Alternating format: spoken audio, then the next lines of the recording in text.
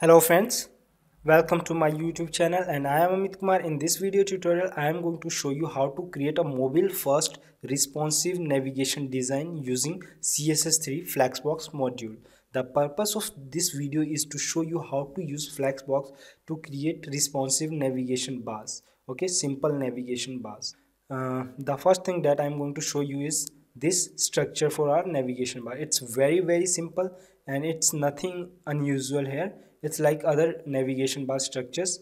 It has an, an order list contained inside a nav element and each uh, list item has an anchor tag containing the item name itself. And we have for the css some basic resets for our elements for the elements that we are using in this example such as body nav ul li and a. And also we have applied a font family for default font family which is helvetica. So let's see how to style this structure for the mobile navigation. So let's go ahead and target our nav ul element and set it a background color of something like 444 the second thing that we're gonna do here is remove the bullets from this unordered list.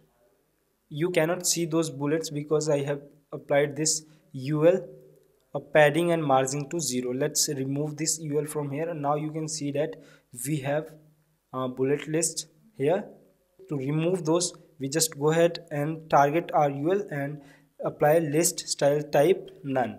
So now you can not see those bullets here. And let's go ahead and again apply those ul so that we can remove margin and padding from those ul element. Okay. Now let's go ahead and target our nav ul li and anchor tag. Okay? So we are targeting these anchor tags and first thing i am going to go ahead and do here is change the color. So i am going to set its color to f9 f9 f9 and the second thing that i'm going to go ahead and do here is display set its display property to block so that we can apply padding to each of the anchor tags. So to apply padding i am going to apply padding of 0.8 rem from top and bottom and 1 rem from left and right like this. Now the last thing that i'm going to do here is change the anchor uh, text decoration properties so that we cannot see these underline. So text decoration none so now we cannot see those uh, underlines. Now let's go ahead and target its hover property. So nav ul li a hover and change its background color to something like rgba to 0 0 0 and 0.4 for the 40% of opacity for our black color. So we can when we hover over these elements so this is basically the navigation that looks like in, looks in uh, mobile devices or any uh, small screen devices. So to scale it for our larger devices like desktop tablets and we're gonna go ahead and write some media queries. Before that first thing that i'm going to target this navul element and set its display property to flex and I'm not going to use any uh, vendor prefixes. So be sure to write vendor prefixes like uh, WebKit, Emoji for other browsers if you are using older browsers.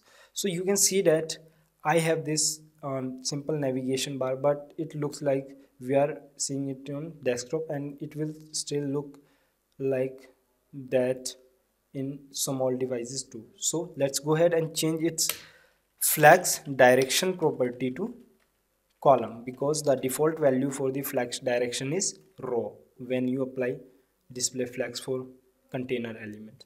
So each of these items are stacked vertically for each of the devices right now okay? So flex direction is set to the column. You can by using flexbox you have the flexibility to change their um, visual order like this. For example you you can change its column reverse to reverse their order visually. So look at this. You can see that we have home about services listed here but the visual order is contact blog means opposite. So you can also write like this row reverse like this one okay? So we just wanted to change it to the column neither reverse too so let's write column and we're gonna see each elements are vertically stacked. So this is the navigation bar for the mobile.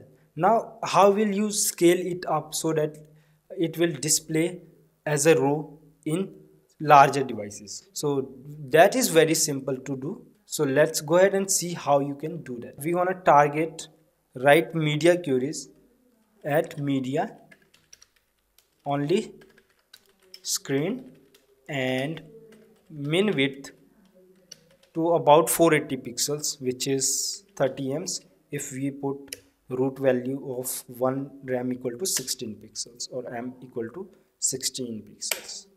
Okay so now thus this is very very simple to do. Let's go for the larger device and target our nav ul element and then set its flex direction property to row now you want to see that immediately all of the elements are displayed as a row so for the small devices we have uh, flex direction set to column and for the larger devices we set the flex direction to the row